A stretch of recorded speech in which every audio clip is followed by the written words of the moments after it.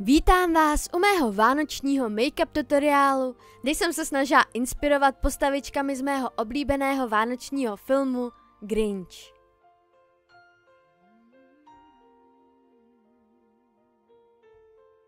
Doufám, že se má přeměna líbí a můžeme se vrhnout na postup. Jako první naneseme make-up, který následně zapudrujeme a upravíme si obočí v barvě, jaké máme vlasy, či připravenou paruku.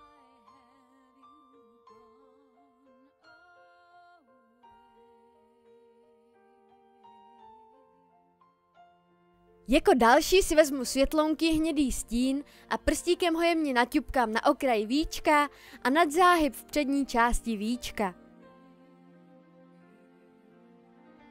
Na zbytek víčka dáme světlý stín a uděláme úplně drobnou linkou linečku.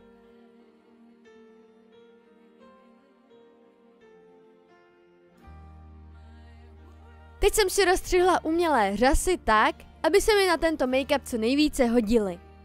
Dlouhé konce můžete vytvořit i pomocí černého papíru a dáme hřasenku.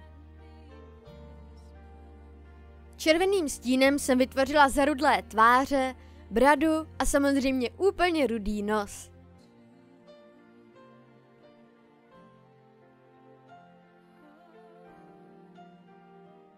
Hnědým gelem na obočí jsem vytvořila pihy, kde bylo třeba.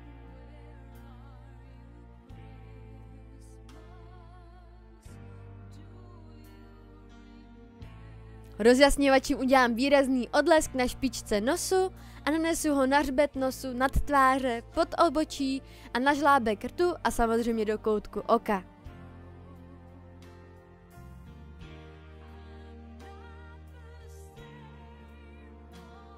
Na rty nanesu balzám a namícháním rudé a hnědé rtěnky jsem vytvořila požadovaný odstín.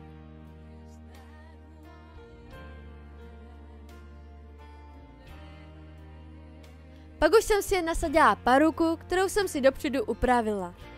Měla jsem v plánu vám to natočit, ale bohužel mi to moc nevyšlo a na poruce to bylo poměrně komplikované zdokumentovat. No třeba někdy příště. Do pusy jsem si dala zuby, které jsem si vytvořila pomocí umělých nechtů a to je vše přátelé. Doufám, že se vám make-up a celkové video líbilo a že se mě pokusíte odměnit sdílením, lajkem či milým komentářem nebo odběrem. Mějte se krásně a přeji krásné Vánoce. Vaše Evžů.